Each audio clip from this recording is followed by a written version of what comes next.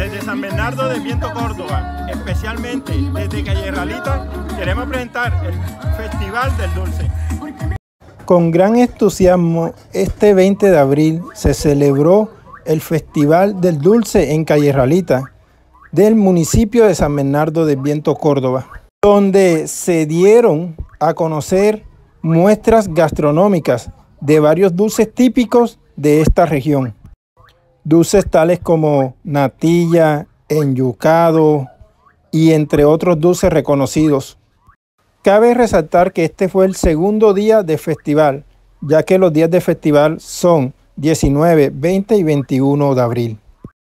Además de la muestra gastronómica, también hubieron otros eventos como la vara de premio.